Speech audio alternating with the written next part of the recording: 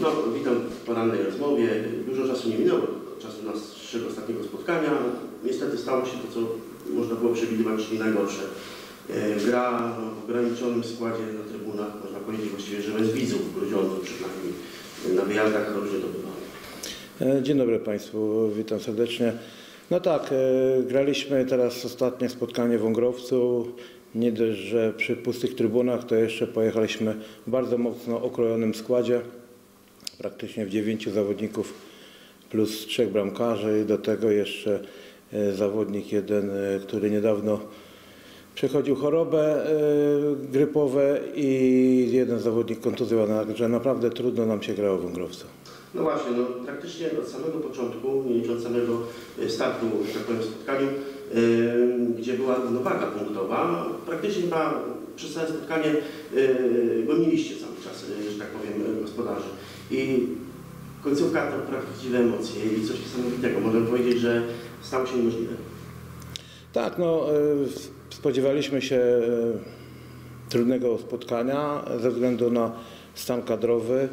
E, Przede wszystkim założenia były takie, by w tej pierwszej części spotkania nie dać się zepchnąć, żeby przeciwnik nie wysoko prowadził w tym spotkaniu. Mm, To nam się udało. W drugiej części spotkania naprawdę żeśmy się mocno spieli i tutaj jest zasługa, ogromna zasługa zawodników, którzy stawili serducho na, na parkiecie. Spowodowało to, żeśmy doszli do ich do remisu i, i w końcówce szczęście, które też jest czasami potrzebne w sporcie, uśmiechnęło się do nas i zdobyliśmy w ostatnich sekundach na, na 5 sekund przed końcem spotkania bramkę zwycięską i, i udało się dowieść trzy punkty. No ale też niebagatelna rola tutaj bramkarza, bo było kilka takich sytuacji, które mogły przeważyć o zwiększeniu tej, e, że tak powiem, nierównowagi. Tak, były sytuacje z jed- z- z jednej i z drugiej strony, gdzie bramkarze interweniowali, y, ale w sporcie nie ma tak, że to, co zakładasz sobie w 100%, czy sytuacje stuprocentowe wykorzystujesz w pełni, y, są właśnie takie, że, że jest jakiś błąd popełniony, bramkarz y, bardzo dobry jest w danym dniu, ma dyspozycję i tutaj z jednej i z drugiej strony bramkarze popisywali się swoimi umiejętnościami. No teraz y, spotkanie, które mogliśmy śledzić za pośrednictwem właśnie internetu, też wiele osób myślę to oglądało, y, czy w trakcie, czy później, ewentualnie po, y, było wyraźnie widać, że bardzo ogólnie, ogólnie wydaje mi się, że ta gra w pierwszej lidze w tej chwili jest bardziej taka roztropna.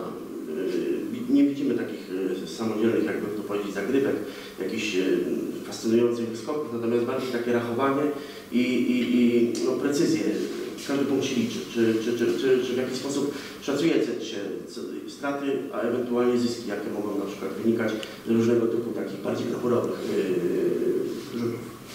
No nie do końca tak jest, bo jednak e, pewne schematy się przygotowuje na dany, dany dzień zawodów pod danego przeciwnika. E, wiadomo, że z każdego schematu jest jeszcze kilka rozwiązań, które po, widać e, po ustawieniu, jak obrona, jak drużyna, drużyna przeciwna reaguje. I nie zawsze dokończy, kończy się to schematem. Są też gry indywidualne. Na pewno e, jest dużo mocniejsza pierwsza liga i gra w pierwszej lidze, aniżeli w, w niższym poziomie. E, Jest bardziej, więcej jest takiej siły i, i trzeba się zderzyć mocno z przeciwnikiem. No, ale widać też chyba istotniejszą rolę obrony, tak, takie jest moje oczywiście zdanie. Widać tutaj, że ciężko się przedrzeć czasami. Yy, Dochodzi do takiej sytuacji, że nawet kilka powiedzmy moment, kilka powiedzmy podań na podpole, i, a mimo to tego punktu nie zawsze udaje się zdobyć. Tak, bo tutaj zresztą w Wągrowcu było to widać, że pierwsza część spotkania zakończyła się wynikiem 9 do 6, to jest stosunkowo niski wynik. Yy, Zespoły dużo przykładają wagi do gry w obronie, bo jednak to jest najważniejsze. W tym ataku można wykorzystać szybkość zawodników wyjścia z obrony do ataku i łatwiej zdobyć wtedy bramki. Dlatego te e, gra nie zawsze, nie zawsze we wszystkich spotkaniach jest mocna obrona. W zasadzie to jest podstawa w grze w piłkę ręczną. Yy, Jeszcze kilka słów może na temat tych tutaj pauz yy, zawodników, bo mówił Pan, że w takim osłabieniu pewnym jechaliście. Z drugiej strony na początku sezonu Pan wspominał, że nie będzie drugiej ławki, że wszyscy będą grali. Yy, Właśnie, czy kondycyjnie było to trudniej?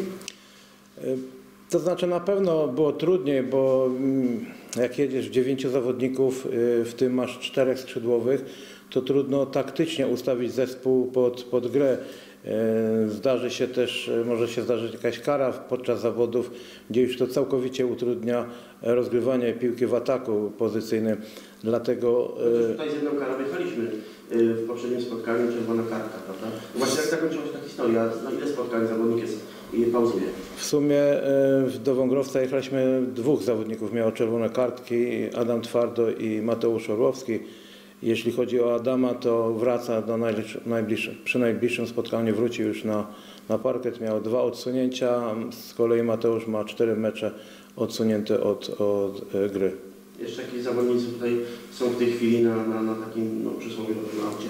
No mamy przede wszystkim chorych zawodników tutaj. Michał Bartecki, Marcin Miedziński, który mimo tego, że, że przeleżał cały tydzień w łóżku, uczestniczył w zawodach. e, Artur Sadowski i Hubert Wróblewski to jest kilku zawodników, którzy po prostu muszą się podleczyć i, i, i, wyleczyć te, te choroby grypopodobne. Y, Jeszcze tu kilka słów na temat tego spotkania y, ostatniego.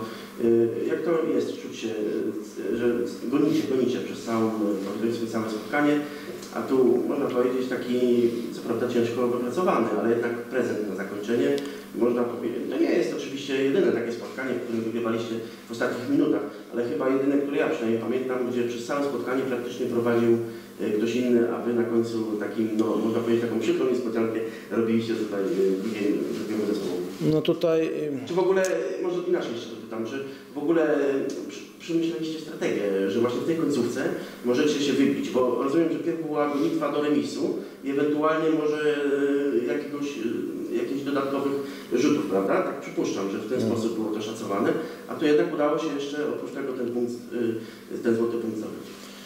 Tutaj na tym poziomie, wygrywając mecz od początku, gdzieś różnicą 5-7 bramek, to jeszcze nie zapewnia pewnego zwycięstwa w całym spotkaniu. W drugiej lidze to w zupełności starczyło y, zagrać 10-15 minut i później kontrolować wynik spotkania. Tutaj niestety się, nie, jest to, nie jest to pewne. Y, W Wągrowcu właśnie była też taka sytuacja, że prowadzi- przegrywaliśmy czterema bramkami. I sytuacje, które myśmy wykorzystali, e, doprowadziły do remisy i tu zaczyna się e, sytuacja nerwowa dla drużyny e, gospodarzy, którzy byli pewni zwycięstwa, e, tylko było kwestia w jakiej ilości różnicy bramek. Spowodowała to, że, że zgubili piłkę e, i my to wykorzystaliśmy. I takie sytuacje się zdarzają i będą się zdarzać w sporcie, a szczególnie w piłce ręcznej, gdzie trzeba niestety grać 60 minut, a w sytuacji kadrowej czy gonienie przeciwnika w wyniku jest naprawdę, naprawdę trudno i, i trzeba, zawodnicy być, No, muszą ale być chyba tak jak w ostatnim spotkaniu, co było widać zresztą na wideo, bo to było transmitowane, było widać, że tak chyba od dawna nie widziałem pana takiego radosnego, że tak powiem, po spotkaniu. Jak zazwyczaj jest pan dosyć wstrzemięźliwy w swoich emocjach. E, Tak, no bo e, z, mając w głowie, w tyle głowy sytuację kadrową i, i podświadomości myśleć, żeby nie przegrać za wysoko tego spotkania, a ostatecznie zawodnicy wywalczyli trzy punkty, e, to jest na pewno wielka rada. prawda zespół jakiś z przodu tabeli, bodaj chyba ósmy przed całą rozgrywką, ale czy czujecie się w związku z tym jednak mocni? No bo to nie jest pierwsze, drugie, trzecie spotkanie, to już jest kolejny, kolejna wygrana i, i, i widać, że no, raczej ciężko będzie z wami wygrać być może, chociaż e, nie wiem jak się układa sytuacja w tabeli, pan na pewno większe doświadczenie i czy jeszcze takie no, zespoły, z którymi będzie trzeba mocno powalczyć przed wami? Tu z każdym trzeba walczyć i, i nie można nikogo lekceważyć, bo można być mocno skarconym, tak jak właśnie Wągrowy został skarcony, że zlekceważyli nas. E, My to wykorzystaliśmy, mając też jeszcze łód szczęścia. To dopiero jest piąta kolejka. E, Spotkań jeszcze jest mnóstwo, jest runda rewanżowa, obyśmy e, to dograli w dzisiejszych czasach, jakie są dograć to do końca.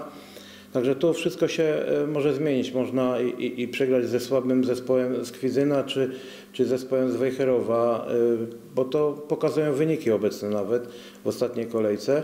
Jest kilka niespodzianek. No trzeba być do każdego zespołu, trzeba podejść Ale indywidualnie. przewagę dwupunktową i, i to widać, że po prostu no, nawet jakaś jedna czy nawet dwie, a nawet potencjalnie trzy porażki y, raczej nie powinny, jak mi się wydaje, być może się mylę, Pan mnie poprawi, zagrozić Wam. Oczywiście duma kroczy zawsze przed upadkiem, wiadomo jak to jest, natomiast y, no widać, że jest moc. No jest i dobrze, bo to też powoduje takie podejście drużyny, e, z którą będziemy się zmierzyć na parkecie. Też ma podświadomości, jedziemy tam do lidera i, i pewnie przegramy. Nie? I niech tak zostanie, niech mają podświadomości, że Grudziądz jest mocny. Psychologicznej aspekt. Tak, y, ja y, jednak y, przed hura optymizmem bym bronił się, ponieważ to jest dopiero piąta kolejka, jeszcze wszystko się może zdarzyć. Naszym celem jest utrzymanie się, pewnie się utrzymanie w tej pierwszej lidze. Na najbliższe spotkanie teraz, może kilka słów i, i czy jakieś zmiany tutaj taktyczne? W chwili mamy pauzę, która wynika z, z, z ilości drużyn uczestniczych w rozgrywkach. Następnie mamy w planie 11 listopada gramy mecz pucharowy i najbliższe spotkanie w Grudziądzu jest to 14 listopada gramy z Osarem e, Kwidzyn. Prawdopodobnie się nic nie zmieni, jeśli chodzi o strefę i, i w najgorszym wypadku będziemy grali znowu przy pustych trybunach. Zawodnicy tutaj kadra się trochę zwiększy, czerwone kartki pójdą na bok. Y, Tu jedynie zostanie jeszcze, będzie odsunięty Mateusz Orłowski jeszcze przez dwa spotkania kolejne. Po tym meczu y, pozostali zawodnicy, mam nadzieję, że wyleczą kontuzję, swoje urazy i będziemy grali w pełnym składzie. Jakie jeszcze tak zapytam y, aspiracje?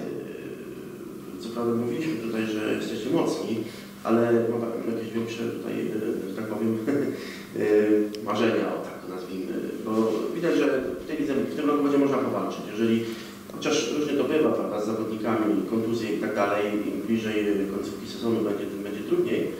Y, Nie wiadomo też, czy zespoły się bardziej nie rozgrają, że tak powiem tutaj co niektóre, natomiast mm, czy jakieś aspiracje są, to chyba sporcie też jest ważne. A może chyba o tym mówić, bo widać, że to będzie ciekawy sezon. Tutaj jedynie wspomnę, że mm, na początku sezonu mówiłem, y, że Polski Związek planuje reorganizację zrobić ligi. Y, Ma powstać jedna pierwsza liga, Superliga, i która ma składać się z czterech zespołów z każdej grupy, czyli ma być 16 zespołów, y, tworząc jedną centralną w Polsce. Czy do tego dojdzie? Y, Nie wie nikt, tym bardziej tej sytuacji, jaka w tej chwili panuje w Polsce. My tylko chcielibyśmy zagrać jak najwięcej spotkań, żeby tę ligę dograć, żeby ona nie była przerywana przez y, wirusy i to jest dla nas najważniejsze w tej chwili. No tak, to jest roku na rok, jakieś różne tutaj są A jeżeli i, i, to by było, gdybyśmy osiągnęli te czwarte miejsce, które gwarantowałoby nam właśnie dostać się do tej Superligi reorganiza- po reorganizacji ligi, o ile tak wcześniej powiedziałem, dojdzie do tego, to by było, to by było najważniejsze dla nas i naj, najlepszy sukces, jaki można by było osiągnąć. Osiągnął klub. Czego oczywiście życzymy. Dziękuję. Dzięki bardzo. Sylwester Polski, trenerem KS Grudziądz. Dziękuję. Dziękuję bardzo.